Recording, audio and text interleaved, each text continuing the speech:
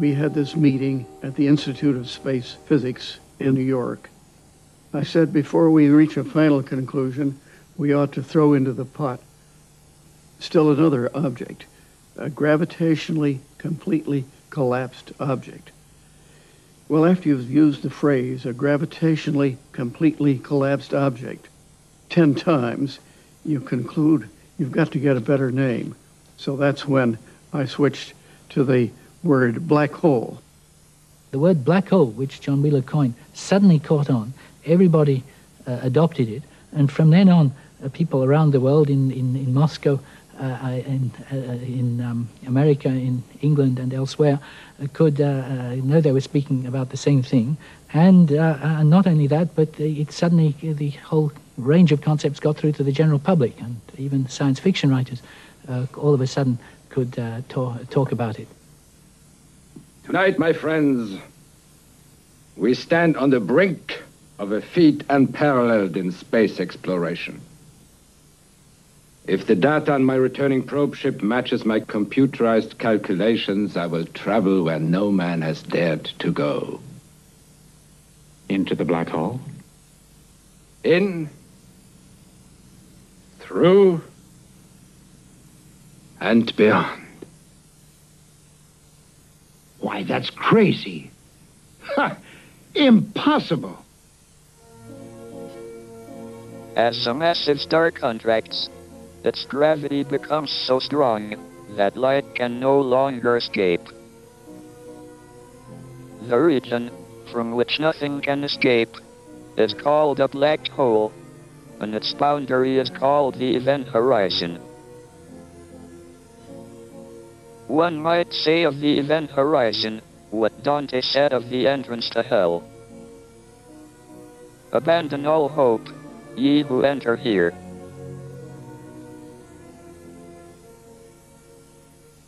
I was once asked to actually be an adjudicator on uh, the, uh, an essay of which the subject was how to fall through a black hole and live. Now, the problem I had was that I wouldn't know how to give out the prize because if I said, well, that looks like a good essay, the only real way of showing that this was right was to actually use, to follow it, to do the experiment and fall in. But then, having fallen in, I would assume taking the person who wrote the essay with you, the question would be, how do you tell the rest of the world? Do you take the prize in with you that you give to them? And what do they do with it when they get to the center? Believe me, I've been waiting a long time for someone like you to record this moment. Thank you, Doctor. Then I'm ready. Ready to embark on man's greatest journey.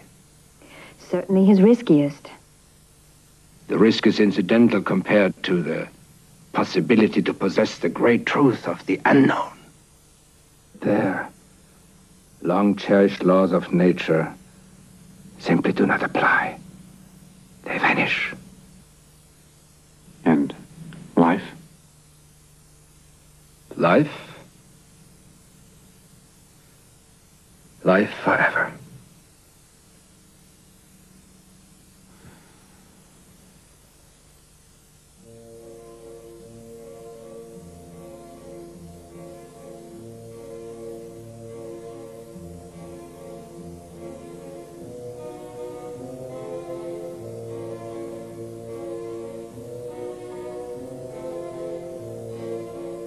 If you were watching an astronaut, foolhardy enough to jump into a black hole, at some time on his watch, say 12 o'clock, he would cross the event horizon and enter the black hole.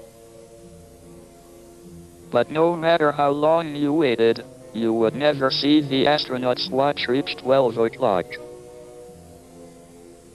Instead, each second on the watch would appear to take longer and longer, until the last second before midnight would take forever.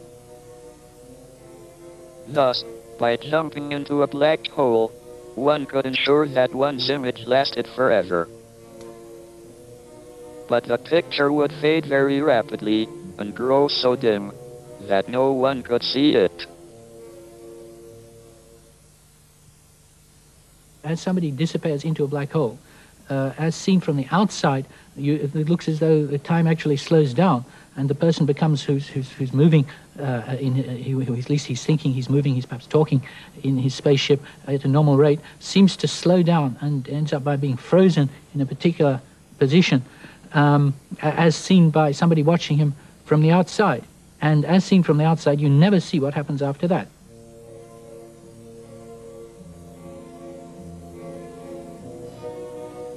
The astronaut wouldn't notice anything special when his watch reached midnight, and he crossed the event horizon into the black hole. Until, of course, he approached the singularity and was crushed into spaghetti.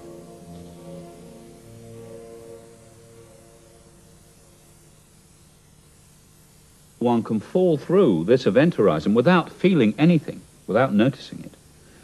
After about a week of falling, one begins to feel the pinch and one extends longer and longer and gets slightly thinner. And, of course, one begins to get squeezed. Until one gets very long and very thin and rather nasty. Uh, by the end of two weeks, one's fallen right into the center and one is, of course, dead.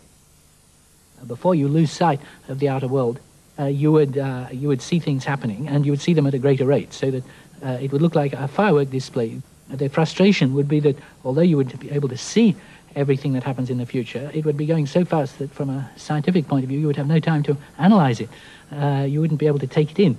Um, and eventually, things would be going off so fast and it would be so explosive that you yourself would be destroyed by the, the explosion, and that would, that would be the end. But it would be a very exciting way to end one's life. Uh, it would be the way I would choose if I, if I had the choice.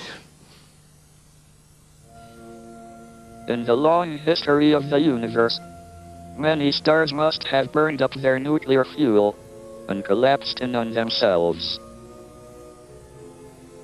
The number of black holes may be greater than the number of visible stars, which totals about a hundred thousand million in our galaxy alone. We also have evidence that there is a very large black hole at the center of our own galaxy.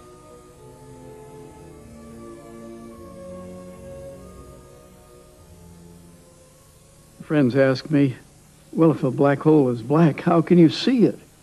And I say, have you ever been to a ball?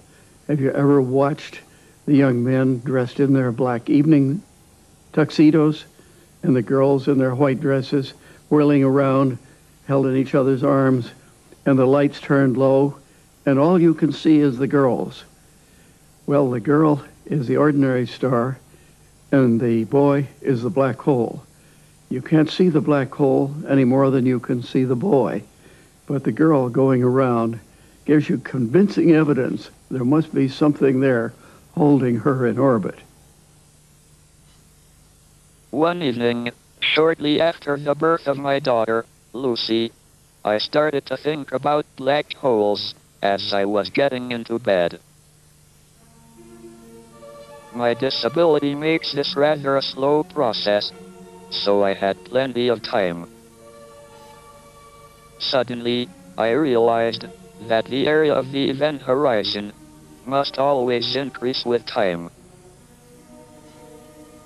The increase in the area of the event horizon was very reminiscent of a quantity called entropy, which measures the degree of disorder of a system.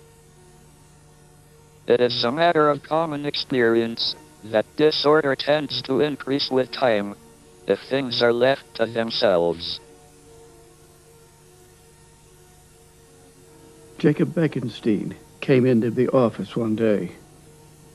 Jacob, I said, it always troubles me when I put a hot teacup next to a cold teacup. I've increased by letting heat flow from one to the other the amount of disorder in the universe. But Jacob, if a black hole swims by and I drop both teacups into this, I've concealed the evidence of my crime, have I not? Bekenstein's a man of great integrity, and he looked troubled, and he came back to me later, and he said, No, you have not concealed the evidence of your crime. The black hole records what's happened to you. Stephen Hawking read the paper in which Bekenstein announced this result, thought it was preposterous, and decided to prove it was wrong.